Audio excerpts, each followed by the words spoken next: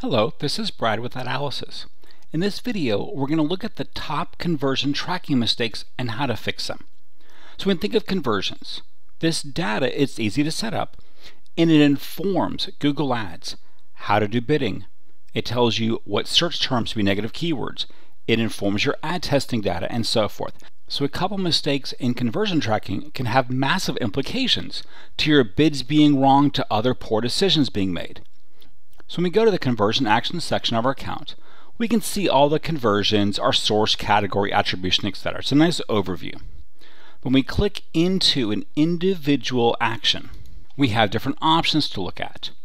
So our number one mistake is not using values for conversions. If you're e-commerce, then of course you'd want to use the actual checkout value. But if you're doing lead gen and you have some conversions, that have low value and others with high value, you can just use a point value system. So our next biggest mistake is the count. If you're lead generation and you're tracking form fills, phone calls, white, paper downloads, and you have every turned on, that means if one person fills out your form 10 times, they count as 10 conversions.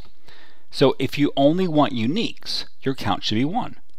If you're e-commerce, then you may use every because of course every time someone checks out, you make more money.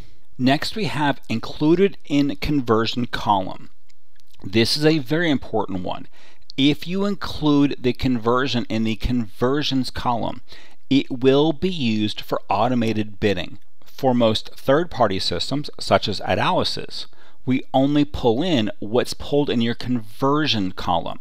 So you may have other things being tracked, such as page views, time on site, etc. And those actions will show up in the all conversions. The conversion column is the most important one because this is where all the bid decisions, ad testing decisions, etc. come from. So next we have not choosing an attribution model or being inconsistent in attribution models. So by default we have last click. If you have a lot of conversions, you could use data driven or you can use time decay, position based, etc. Now, where this really comes into play of thinking about your attribution models is when we go back to all of our conversions and we say who's being included in conversions. And we have one that's time decay, another last click, another position based. This is going to cause a problem because if you really want everything time decay, but there's a last click in here, or you want everything position based, but there's a time decay in here, the data gets really messy and bad bids are made for your account. Your conversion data is not put correctly across all your data. So often we look at our overview, we're saying, are we consistent on our attribution? Are we consistent on our counts? Now, you may have some that are different. You might have this one is a count of every because we're e-commerce, but we want to count catalog leads. So therefore, we're going to count those as one, but e-commerce is every. There, there are exceptions. And then do we have some that have different conversion values? So it's important to be consistent. Our next biggest thing to look at with mistakes in conversion tracking is how you choose to handle local actions. Is a website visit a conversion you want Google to optimize for? What about driving directions? Store visits is often one that is included. So when there are other conversions that are being added to your account, have you thought about how you want to have them included? Many people don't want driving directions included. They'd rather just use store visits.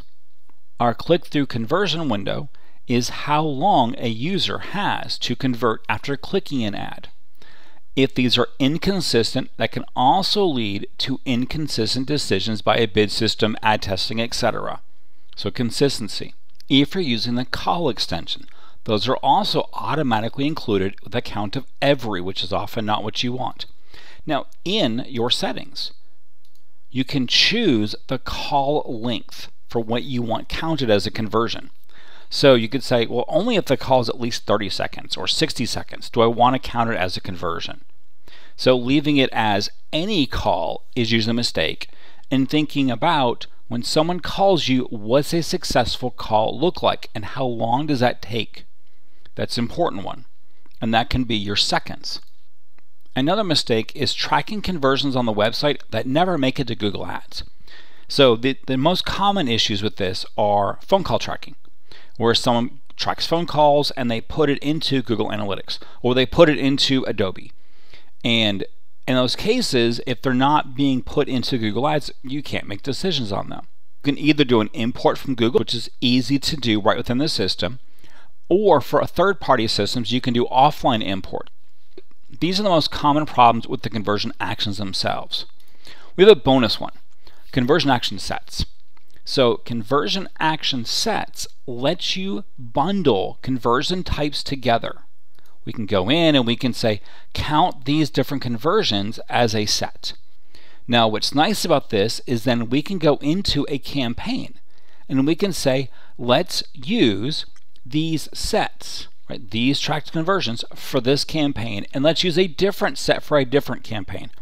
This can be useful when you've got some sets that are awareness uh, top of funnel, maybe to some discovery ads, and you're really focused on time of site metrics. But then you've got your search ads and your remarketing ads, and you expect them to convert. So in those cases, you want to focus purely on who converted the lead information and not just a good visit. So when we look at the conversion action sets, we're often looking to see how many campaigns are they used in? And do they have different conversions being used in different campaigns? Because if you have four or five conversion action sets and one is being used in one set of search campaigns and a different one is being used in a different set of search campaigns, that may lead to an inconsistency issue and you need to examine that very, very closely. So, with conversion actions, our number one thing we're looking at is consistency, right? Consistency in the attribution, Consistency often in the counts. There could be some exceptions here. Consistency in the click-through window. And then ensuring only conversions that should be used for bidding, ad testing, search query data, etc. are in the conversion column. It's important in systems like Adalysis, we use counted conversions for automated ad testing, automated analysis, etc. So we're going to look at what's in the yes column, how that data has been divvied up, and then give automated recommendations based upon that information. So the takeaway from this video is number one, make sure you understand what these conversions mean. Number two, be consistent. Number three, double check any conversion action sets and other values or conversions not being imported. And if you can get through those three things, then you should have great conversion data, making all your optimization efforts much more efficient.